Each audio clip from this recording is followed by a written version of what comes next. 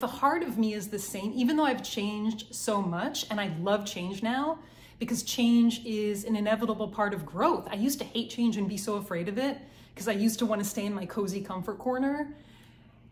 But I learned by doing that, I was limiting myself in so many ways and seeking out the familiar pain of my past in other people was not a healthy way to choose relationships. So once I busted out of my triple C, cozy comfort corner, I started to understand that the uncomfortable is now comfortable for me and I crave change. I'm in this thing right now where like I'm craving change and I want change so much because I know it's good for me.